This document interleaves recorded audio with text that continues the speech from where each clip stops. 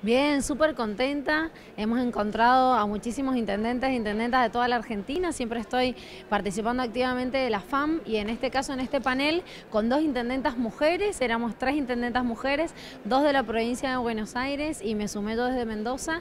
Sumamente interesante el intercambio de experiencias, el poder escuchar eh, lo que en otros municipios coincide con lo nuestro, lo que no, qué resultados o soluciones han brindado ellas. Así que muy contenta, superado las expectativas. El panel y toda la exposición en general.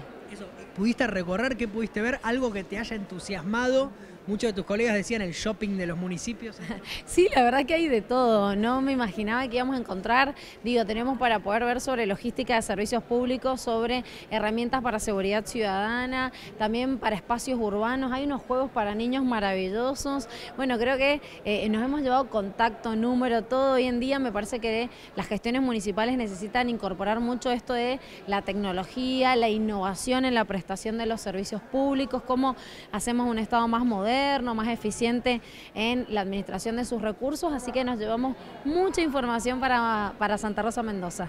Y siempre que hay un viaje a Buenos Aires, la expectativa de las gestiones ¿no? que se pueden dar y, y cómo esperan también los vecinos de acá a fin de año esa gestión activa del municipio. Sí, siempre además quienes venimos, digo yo, del interior del interior, aprovechamos los viajes a Buenos Aires al máximo, paseamos, por así decirlo, golpeando puertas por todos los ministerios para llevarnos eh, soluciones y respuestas para Santa Rosa. En este caso, muy contenta porque prontamente va a salir la no objeción técnica que nos habilita a licitar una obra pública muy esperada desde el Ministerio de Catopodis que tiene que ver con el polo educativo. Es un espacio que va a reunir toda la oferta educativa de nivel superior en Santa Rosa para lograr que nuestros jóvenes se puedan quedar en Santa Rosa y desarrollarse en nuestro lugar. Así que llevo esa linda noticia de fin de año.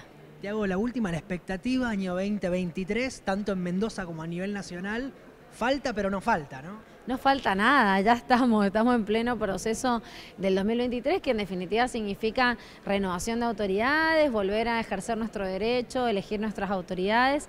Y creo que, es un 2023 que viene con mucha esperanza. Hemos pasado años difíciles, años de pandemia, años de crisis eh, internacional, de guerra, y creo que nos estamos acomodando y entiendo que el 2023, siempre digo que mi obligación como militante eh, es ser optimista y estoy convencida que el 2023 nos va a encontrar mucho mejor en el comienzo de una nueva etapa de reconstrucción de la Argentina, que ojalá sea de la mano de este Frente de Todos que entendemos tiene una visión federal para quienes somos del interior que es muy valiosa y que hemos podido lograr cosas maravillosas con un gobierno que eh, realmente piensa en el interior y en todos los argentinos por igual.